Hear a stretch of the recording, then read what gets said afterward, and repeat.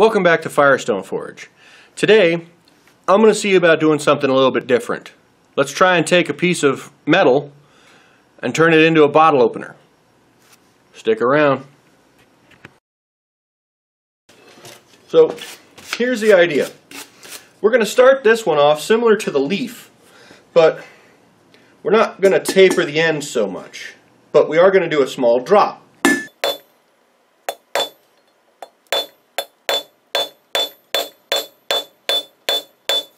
Okay, and we're going to keep on working it back.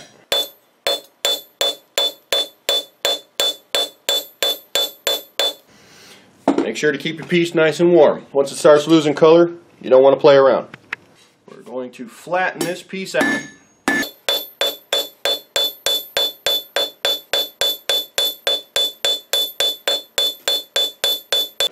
Once you've got the tip shaped the way you want it, I just kind of took it over to my vise and uh, I don't have my camera set up over there.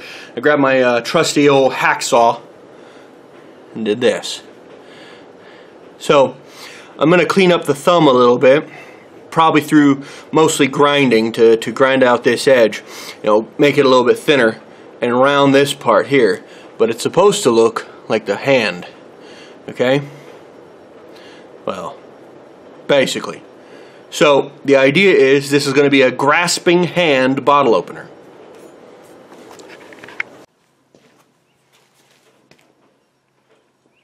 Now all I'm doing here is I'm just nipping the tips off to try and make it so that way it's similar to a real hand with how the, the positioning of the fingertips are.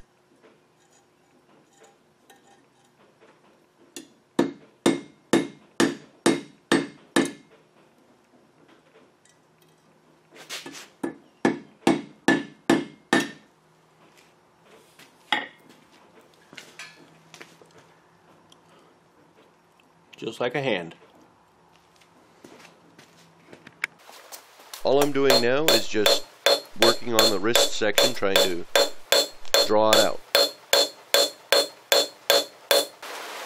Once you've got that, just cut it off where you'd like it and start the next phase. Now I'm just going to draw it out, square it up, make it look good.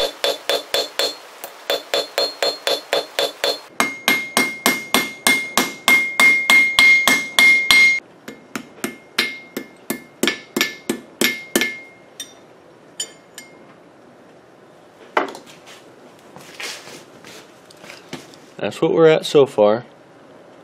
Heat it up and keep on going.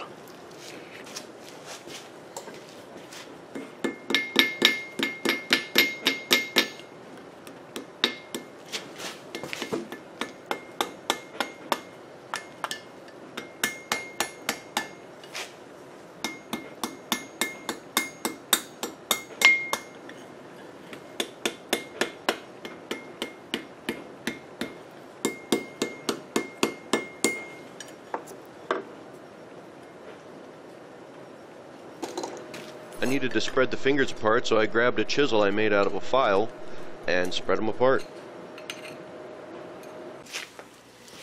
We're almost there. I've got the hand shaped how I want it. I just need to fix a little bit on this wrist section.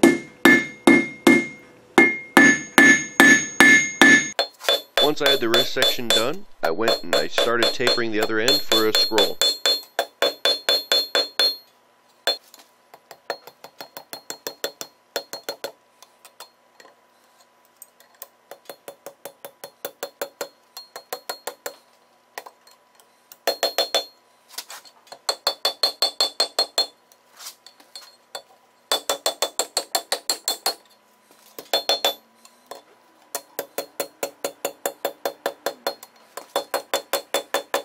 once I had the scroll complete, I just added a drop to even it out, so that way it goes straight down the center.